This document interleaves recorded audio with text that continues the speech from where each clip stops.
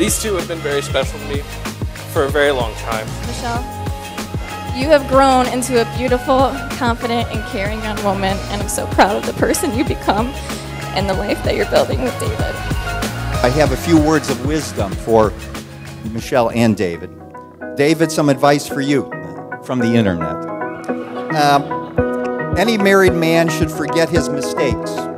There's no use in two people remembering the same thing. Every time you talk to Michelle, you should remember that this conversation will be recorded for training and quality purposes. Michelle, remember that do not expect that David will change after marriage. Uh, you will have to guide him through that process.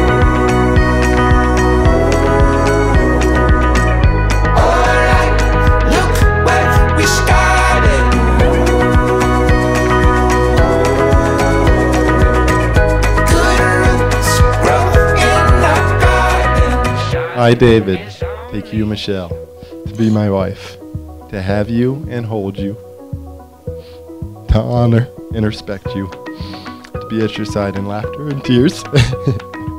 I love you, and I promise to say this often with not just my words, but my actions, so you know you will always be more than good enough in all that you are and all that you do.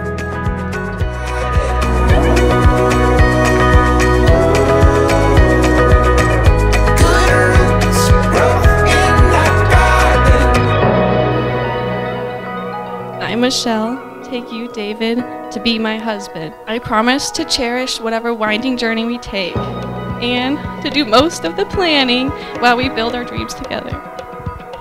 I promise to end each day in harmony, no matter what went on, with a don't let the bed bugs bite and an I love you.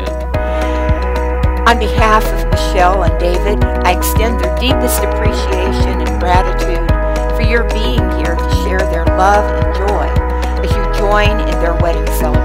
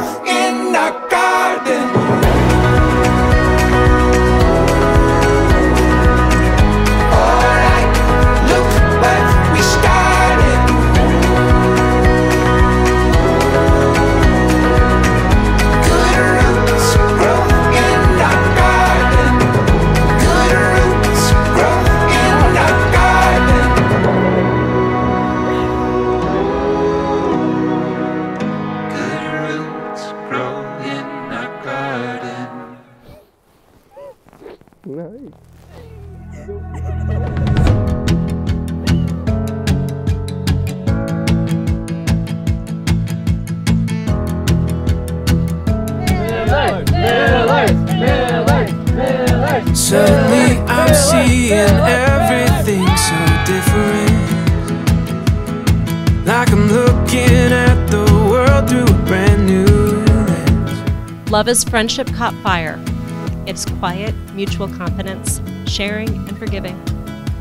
It is loyalty through good and bad times, and it settles for less than perfection and makes allowances for human weaknesses.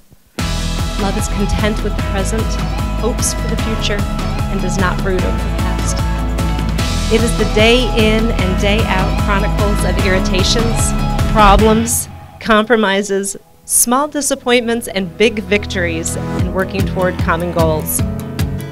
If you have love in your life, it can make up for a great many things you lack. If you do not have it, no matter what else there is, it is not enough. You may now kiss the bride.